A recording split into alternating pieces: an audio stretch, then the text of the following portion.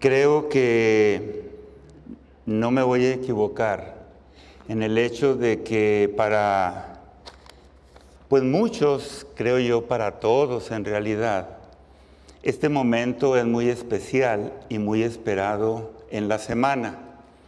Yo diría que es el momento pues cumbre de todas las actividades, de todo lo que pues realizamos cada día, el poder iniciar el día del Señor, el día santo, el día de reposo, pues no, no tiene comparación.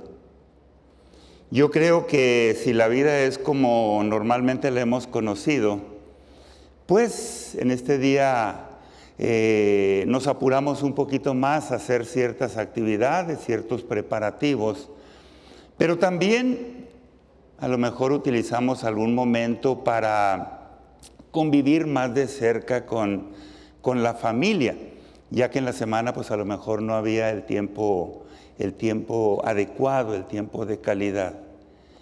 Estaba haciendo yo unas cuentas, Pastor Rafa, y saqué en conclusión que hace 52 años, Adriana, que mi vida ha girado en torno a los colegios adventistas. Antes decíamos los colegios, ahora pues ya son las universidades. La Universidad de Navojoa, en aquel tiempo, 1969, a la edad de 14 años, hasta la presente, Pastor Dick, de alguna manera eh, he estado ligado pues a Montemorelos, a la universidad, a las actividades aquí de la iglesia. De los últimos 42 años, los últimos ya casi 42 años, también mis cuentas me dieron de que 36, 37 años he estado entre Monterrey y Montemorelos. Un ratito en Ciudad Victoria, Tamaulipas, otro ratito, por decirlo, un tiempo muy agradable, muy lindo allá con la iglesia en mis primeros años de trabajo pastoral en Ciudad Mante, Tamaulipas.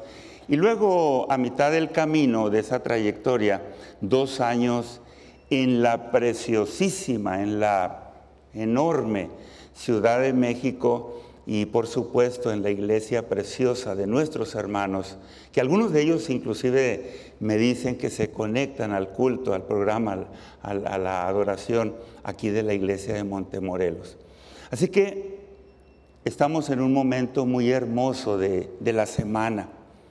En este sábado que inicia, que yo siempre digo, hagamos lo posible para que sea el mejor sábado de nuestra vida, de nuestra experiencia como cristianos. ¿Están de acuerdo conmigo? Esta noche quisiera pues repasar un poquito con ustedes una historia. Yo les voy a decir, hermanos, que es de mis historias favoritas. Cuando me dijeron de esta oportunidad tan, tan linda, de esta preciosa ocasión para estudiar la palabra de Dios, pues la mente se va por muchos lados y qué voy a hablar, qué les voy a decir a, los hermanos, particularmente pues eh, este grupo maravilloso de jóvenes que tenemos aquí reunidos, pero también a los hermanos adultos. Y dije, bueno, una de mis historias preferidas para obtener algunas lecciones de la palabra de Dios, de esas historias de fe para nuestro crecimiento espiritual. ¿Estamos de acuerdo? Traen su Biblia, a ver cuántos tienen su Biblia o acceso a la palabra de Dios. Vamos a leer algunos. Bueno, tenemos una, yo creo que todos esta noche, y quien no tenga la palabra de Dios, usted pueda compartir si está allí cerquita. Se trata de la historia de Jerobaal, también llamado Gedeón. Gedeón. Resulta que la situación era muy difícil en los días de Gedeón, porque los ejércitos enemigos, los madianitas, dice los amalecitas y los orientales, nos vamos a basar en los capítulos 6 y 7 del libro de jueces, para que ustedes lo tengan ahí a la mano. Y cuando leamos algunas palabras, algunos versículos, algunas frases, pues ustedes también eh, lo, puedan pasar ahí con su, con su vista y también con su, su mente y con su corazón.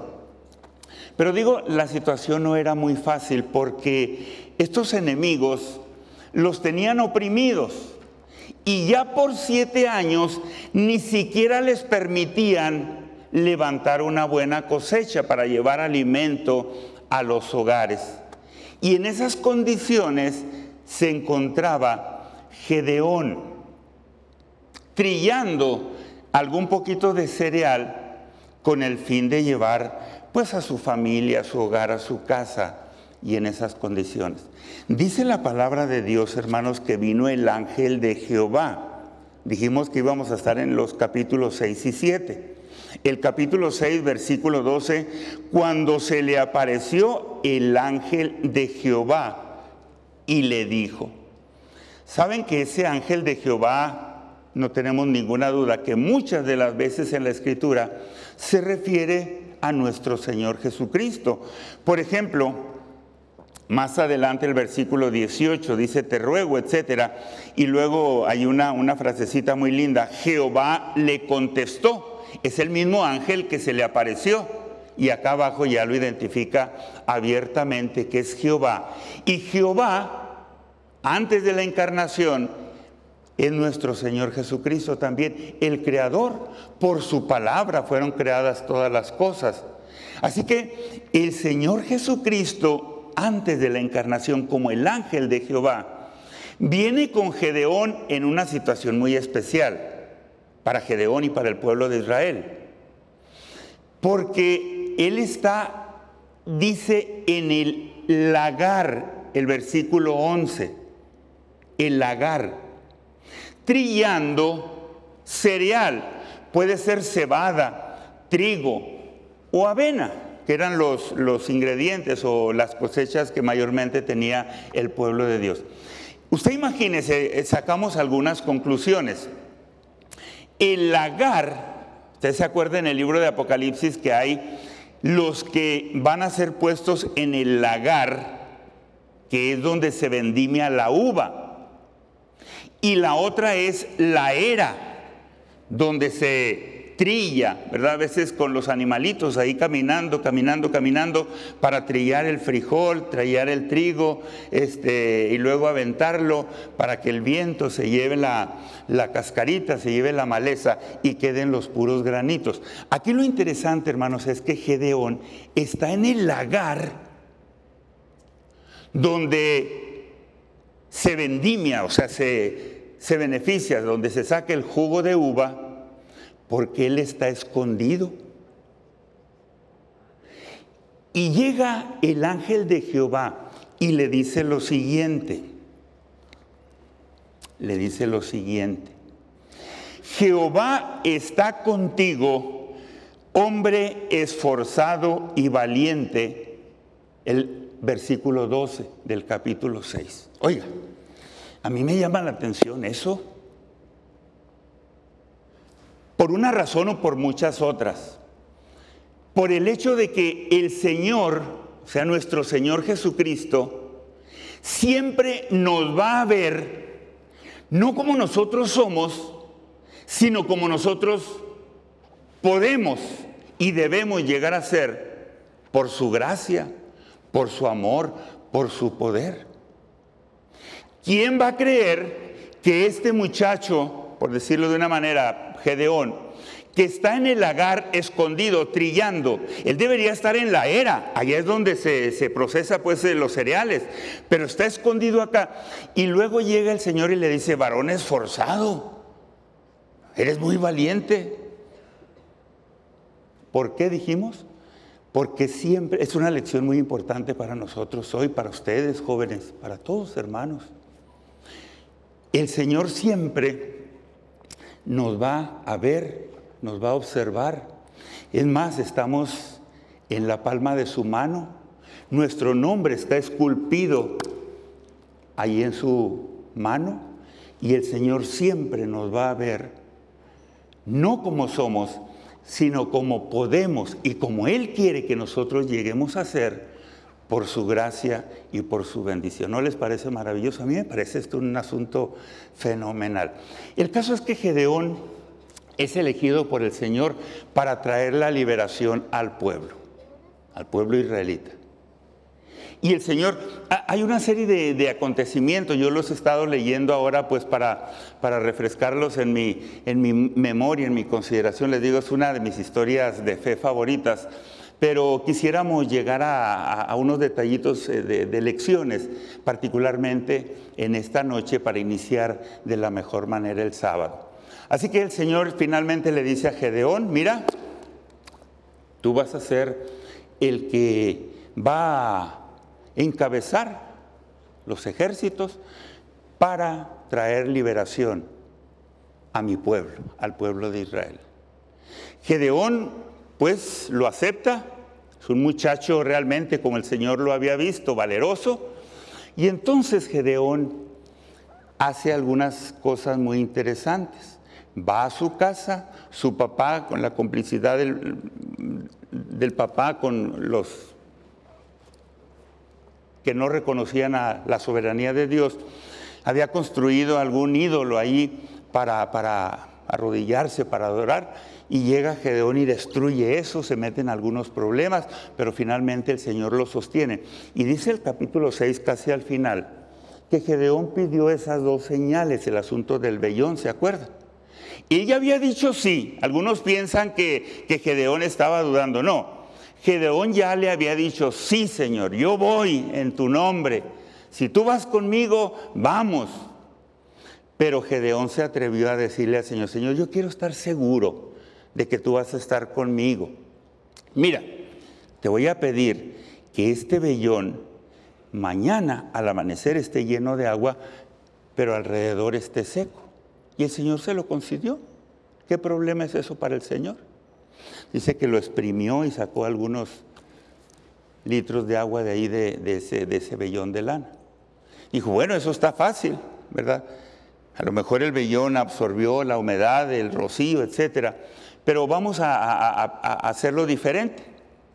Que el vellón quede seco y que todo el territorio ahí alrededor, todo el campamento, el campo, esté lleno de agua.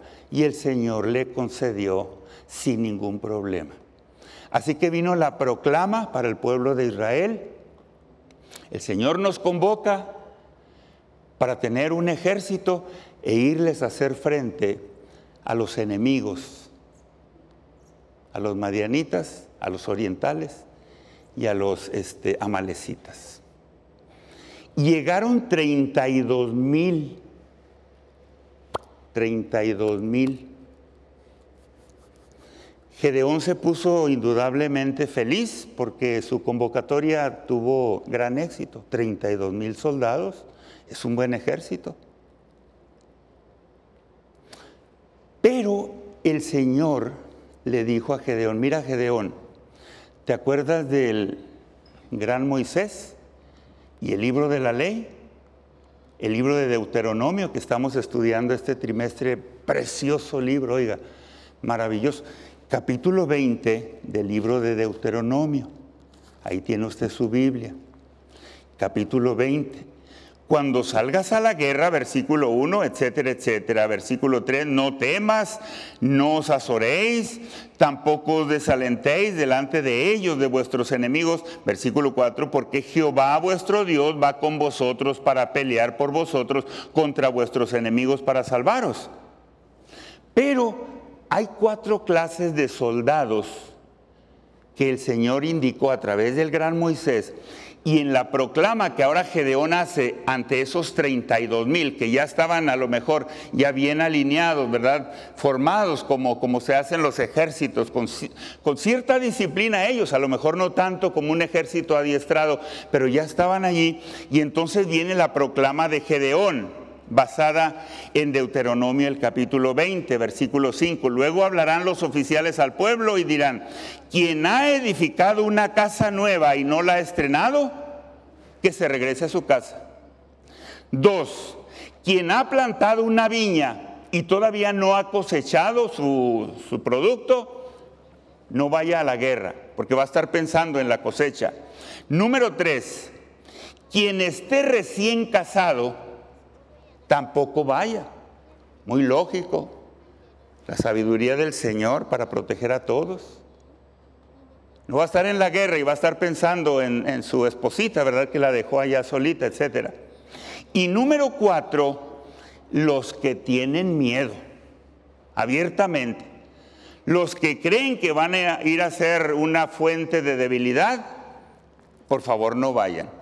¿Y saben cuál fue la sorpresa, hermanos? La palabra de Dios, pues es muy linda y todos sabemos esta historia.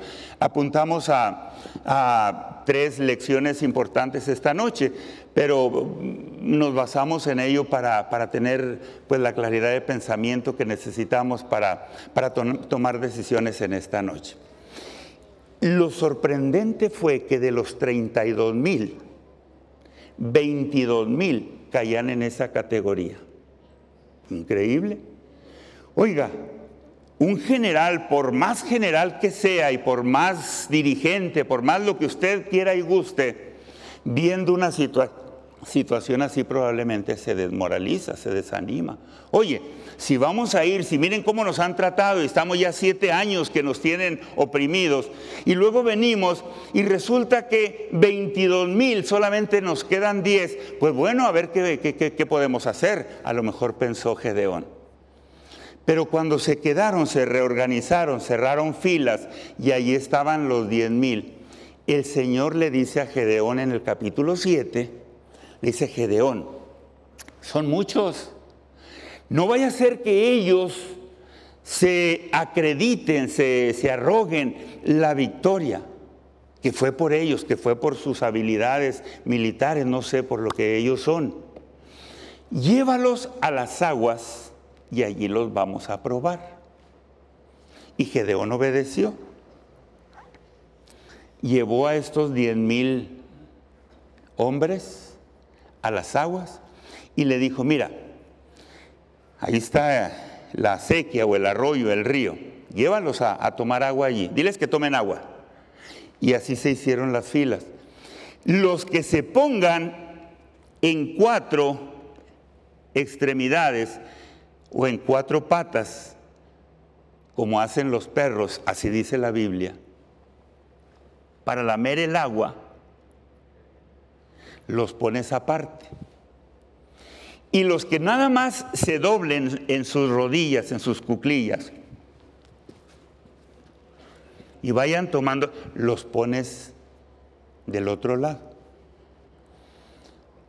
Y la palabra de Dios nos, nos sorprende. Ese versículo maravilloso de Zacarías 4:6, del profeta Zacarías, un poco más tarde en la historia eh, sagrada, en la historia de Israel que nos dijo, no con ejército ni con fuerza, sino con mi espíritu, ha dicho Jehová de los ejércitos. Allí cobró una realidad tremenda. Porque de los 10 mil, 9 mil 700 se pusieron a sus anchas, se despreocuparon de cuidarse si venían los enemigos y tomaron agua a placer y fueron desechados del ejército. Solamente 300 estaban listos porque nunca perdieron la compostura. Tomaban agua, pero estaban listos para, para si había que hacer cualquier cosa. ¿Solamente cuántos? 300. Muy bien, están los 300. Y el Señor le dice a Gedeón, mira, vamos a habilitarlos, a capacitarlos. Tienes 300. Yo voy a estar contigo, había sido la promesa. Y Gedeón los organiza todavía más en tres escuadrones. Tres escuadrones. Si nos vamos por lo sencillo y por la lógica, tres escuadrones de 100 soldados. 100, 100 y 100. ¿Cuáles serían, hermanos, tres condiciones, como le pusimos al tema de esta noche? Tres ingredientes, tres elementos, tres lo que usted crea que, que cuadra más ahí en la reflexión de esta noche. Para la victoria espiritual, para la victoria en Cristo Jesús. ¿Qué tres ingredientes son muy importantes para tener éxito en la vida cristiana, en la lucha contra el mal y en cualquier situación de, de emergencia que nosotros podamos tener. Terminamos con tres y nos regresamos a casa a dormir, a descansar y mañana venimos renovados para seguir adorando al Señor. ¿Están de acuerdo? Número uno. Es muy importante el carácter. Si algo nos vamos a llevar de este mundo al venidero, hermana, va a ser qué cosa? El carácter. Lo dice de una manera magistral la sierva, la mensajera del Señor. Lo único que llevaremos de este mundo al mundo venidero es el carácter que hayamos formado. Es esa relación personal, íntima, con Cristo Jesús, a través del estudio de su palabra, a través de la oración, a través del testimonio cristiano de nuestra vida. Lo único que llevaremos al cielo. ¿Qué cuenta bancaria, qué dinero, qué talentos, qué, nada? El carácter. Estos 300 demostraron tener un carácter a prueba de bala, a prueba de todo. ¿Están de acuerdo conmigo? Fueron 300, imagínense, 30, no sé qué porcentaje, de 32 mil a 300 pero tenían el carácter que se requería. Porque al final de esta historia nos damos cuenta que, que obtuvieron la victoria. Pues si no es con ejército ni con fuerza, sino con el Espíritu del Señor. Si el Señor les había dicho, ustedes no deben de tener temor, ustedes marchen adelante, ustedes cumplan las especificaciones y la victoria está asegurada. Yo sé que el Espíritu del Señor, porque lo invocamos y porque sabemos que la presencia del Señor está aquí en su iglesia, está con cada uno de nosotros, iluminando nuestra mente, nuestro corazón, ayudándonos a sacar lecciones importantes. ¿Es así o no es así? El Señor nos, nos habla y nos está hablando a todos, inclusive a nuestros hermanos, porque no allá en sus hogares o detrás de, de la pantalla, de las cámaras aquí, el carácter. Número dos, ¿cuál es el segundo ingrediente importante en la victoria cristiana, en la victoria de nuestra vida? La armadura, las armas. A Gedeón eh, eh, es, eh, cuando vemos la palabra de Dios, pues es maravillosa, es, uno, uno, lee y por eso uno se, se, fortalece, por eso uno se le quedan las, las lecciones tan lindas de fe, de confianza en Dios. Porque usted imagínese que con un cántaro, con un jarro de frijoles, yo me lo imagino así, ¿cómo, cómo se imaginan ustedes esos cántaros, ese cántaro? O de agua, ¿verdad? ¿Se acuerdan las tinajas en, el tiempo del Señor Jesucristo que estaban ahí en las bodas de Caná de Galilea y que el Señor les dijo, llénenlas? Y las llenaron. Y luego cuando fueron a sacar, que le habían echado agua y no tenía ahí abajo el polvito de culé o de mm, cualquier otro, otro asunto. No, no, no, no, no, no.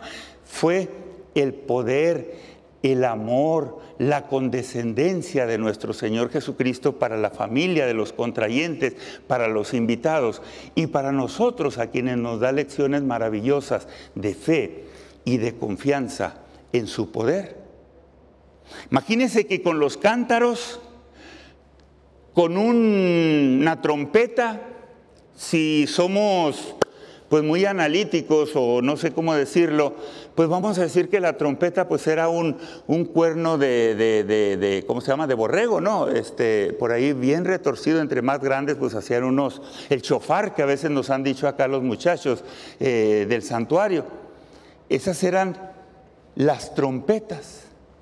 Y luego una tea ardiendo, una tea, un mechón, ¿verdad? Un, un, un hisopo, un palo. Y luego allá, pues con algún algodón, una especie de trapo para que ardiera, no sé. Ese era el armamento.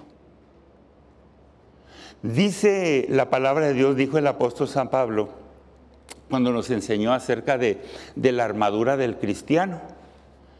Pues la armadura del cristiano es la palabra de Dios, es la oración, es el escudo de la fe, es el yelmo de la salvación y todos esos, este, pues, municiones o eh, para, afrontar la, la dura batalla espiritual en la vida.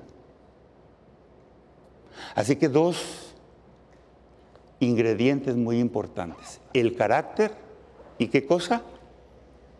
¿Qué cosa? La armadura. Y número tres, número tres, que es importante, la estrategia. Vean allí en, en jueces el capítulo 7, por favor.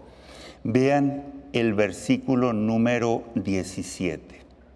Después de que hizo los escuadrones, de que los dotó con las trompetas, los cántaros vacíos y, también las teas eh, antorchas, esas ardiendo, el versículo 17 les dijo Gedeón, miradme a mí y haced qué cosa, como yo hago.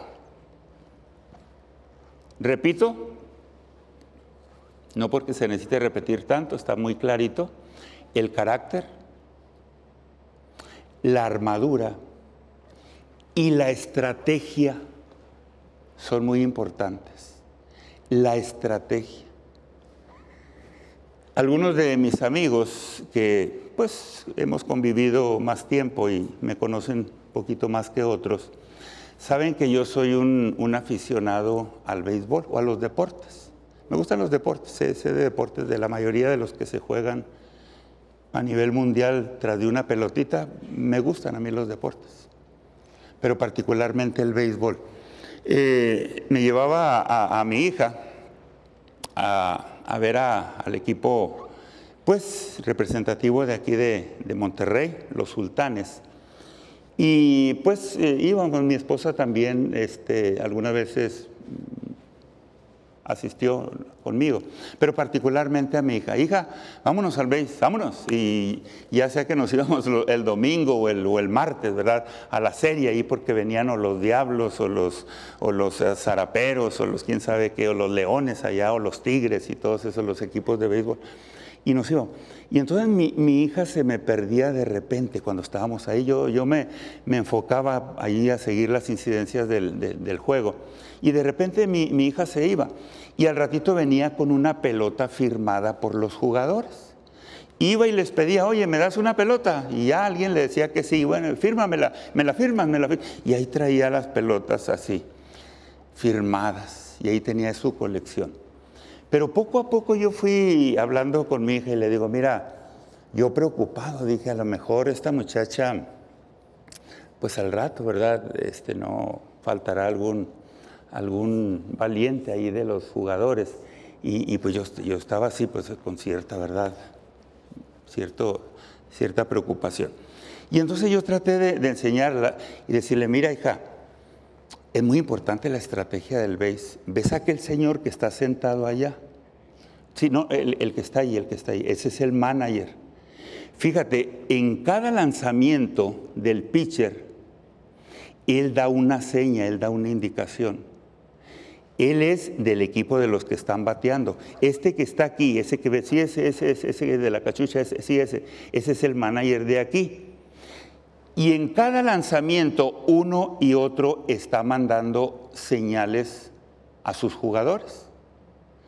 Aquel al que está bateando, el que está bateando se hace como que se ajusta las guanteletas y todo, pero está mirando la seña que le están diciendo.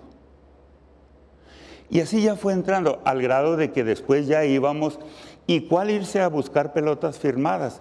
Se quedaba conmigo y ya estábamos comentando las incidencias del juego. ¿Tú crees que va a tocar la bola? ¿Tú crees que en esa pichada se va a ir a robar la base del corredor? Mi hija, la estrategia es muy importante. Hay tres señales en el béisbol que son básicas, tres órdenes. Toca la pelota, róbate la base y haz un bateo corrido. Son tres clases que hay en el béisbol que son básicas. Hay muchas más. Y les digo los managers y los jugadores y el que se pone acá por la almohadilla, la tercera, y el que se pone por la almohadilla, siempre están cazando la señal y tratando de, de pasarlas a los jugadores.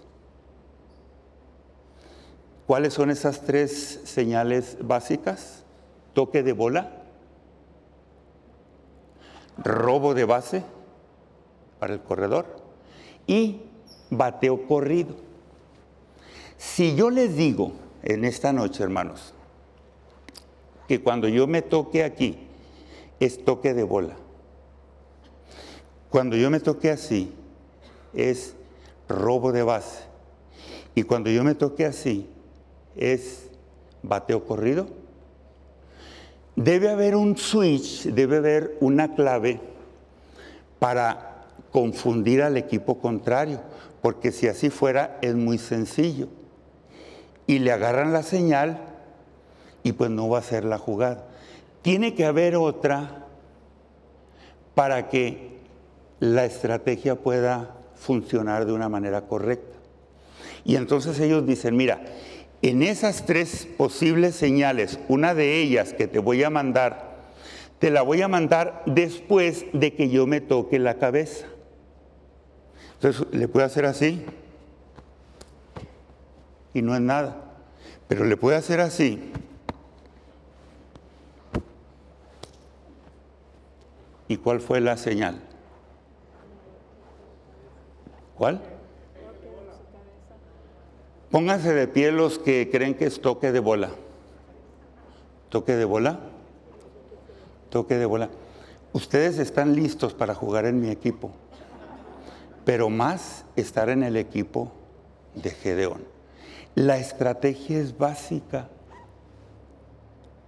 No se podría jugar béisbol, y estoy terminando, no se podría jugar béisbol. Y si hablamos del fútbol y de cualquier otro deporte igual, tiene estrategia, mucha estrategia.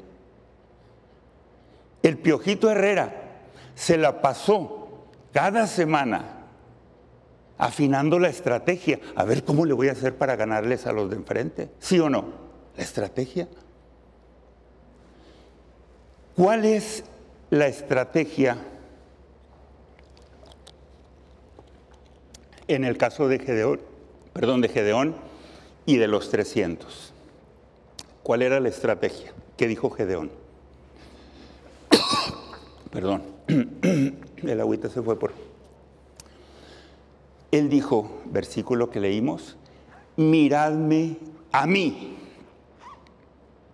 Lo que yo haga, ustedes lo van a hacer también. Esa fue la estrategia. Cuando yo quiebre el cántaro, ustedes quiebran los cántaros. Cuando yo levante la tea, la antorcha, ustedes la levantan. Cuando yo grite, ustedes gritan. ¿Y qué pasó con el ejército de enfrente? Se llenaron de terror, de pavor, salieron despavoridos unos a los otros con los instrumentos de lanzas o espadas, no sé qué traerían, palos o lo que hayan sido, ellos se eliminaron unos a otros bajo la estrategia que Gedeón, bajo la instrucción de Dios, les dio. El resumen, creo que hace tres, cinco minutos habíamos de dar el resumen, pero quiero que ustedes me ayuden para que la lección sea entendida en esta noche. ¿Está bien? Si usted y yo queremos ser victoriosos, ganar la victoria espiritual, la victoria que el Señor quiere que nosotros ganemos, repitiendo brevemente, será muy importante el carácter. Y ojalá que estemos cultivando cada día mejor ese carácter. Las armas de nuestra milicia no son carnales, sino poderosas en Dios, dijo el apóstol San Pablo. Y tres, miradme a mí. Isaías 45, 22. Mirad a mí y sed salvos todos los términos de la tierra. Hebreos 12, 2. Puestos los ojos en Jesús, autor y consumador de nuestra fe San Juan 12:32, y yo, si fuere levantado de la tierra, a todos atraeré a mí mismo. La estrategia, mis queridos hermanos, es mirar a Cristo. Tener a Cristo en nuestro corazón. Seguir las indicaciones que Él nos da para una vida cristiana victoriosa y feliz. Esa es la estrategia. Contemplemos a nuestro Señor Jesucristo cada día para nuestra transformación. Fue el apóstol Pablo el que dijo el último versículo que consideramos esta noche. Él dijo que la transformación viene por la contemplación de nuestro Señor Jesucristo. En la medida que contemplemos a Jesús, que es la estrategia para la victoria cristiana, nuestra vida habrá de irse transformando, habrá de ir cambiando y el Señor nos dará de sus bendiciones para honra y gloria de su nombre. Me encanta, hermanos, la historia de Gedeón. Me encanta esta parte de la escritura. Y me encanta que finalmente nos conduce a donde nos debe llevar, a la contemplación y a la aceptación de nuestro Señor Jesucristo, quien es el autor y el consumador de nuestra fe. Este sábado disfrutémoslo, hermanos, a placer, contemplando a nuestro Señor Jesucristo, siguiendo las indicaciones que Él nos da para que podamos ser victoriosos en el nombre del Señor. Feliz sábado.